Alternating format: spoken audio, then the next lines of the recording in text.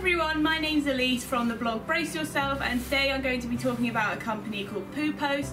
They do worm counts for lungworm, tapeworm, redworm, all the worms you can possibly get your hands on and today I've been kindly gifted a set to test the girls. So the reason to worm count rather than just worm your horse routinely, which you should be doing anyway, but worm counting basically gives you quite an accurate representation of where your horse starts with worms before you worm them, and then you can do it after to make sure that um, that the worms are gone and the worm will work. Because we actually, this is my third test I've done on the girls, and um, especially little Safi here, she came to us quite sick and one of her main issues was the amount of worms she had. She had quite a high worm count and we noticed this in her poo after a week of her having her here and we didn't want her infecting Scotty so we tested both of them to make sure that they're both okay. So we tested them once, quite a high worm count, not good. So we got some Panacur five day guard into them and it didn't work.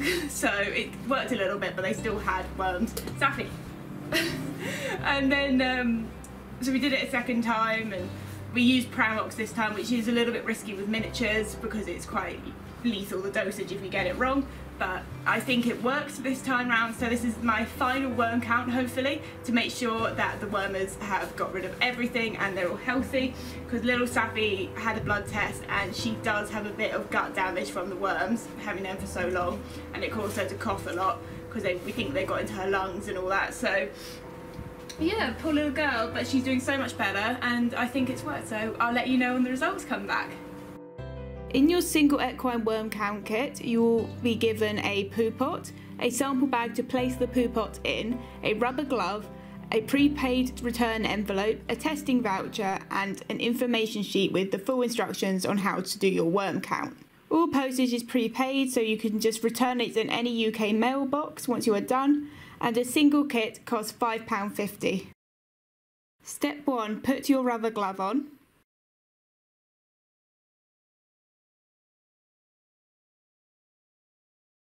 Step 2, get your pot ready.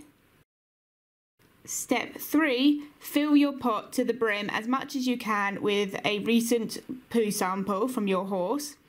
My sample was from the night before when I went up to muck out in the morning. And I pulled off bits from the top so it had no bedding in it. As you can see, I stuffed it as full as I can without it overflowing.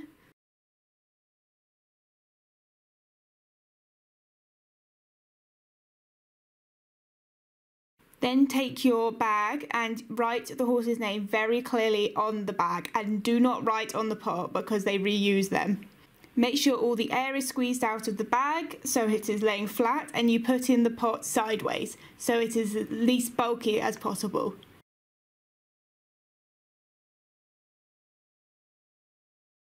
Once you have finished filling your pot with your fecal sample, you are ready to pack it away to send back. So what you will need is your envelope and make sure everything is being packed as flat as possible and that everything is clean. Do not write on the pots, write on the bags and do not send back a really dirty envelope. The mail goes mad if this happens and the poor people at Poo Post then get blamed for it and have to pay fines. So for health and safety, please make sure everything is clean as possible. At first I laid my voucher in the envelope, which I have fully filled in. Then I took my worm count samples, squeezed the air out of the bags to make sure they won't explode during transit, and I also placed them inside the envelope. Then seal your envelope up and you are ready to post it back to Poo Post. And that is all it takes to finish this worm count kit. It's super simple and easy and anyone can do it following the instructions on the leaflet. Within 24 hours, I got my results back and they will come through your email.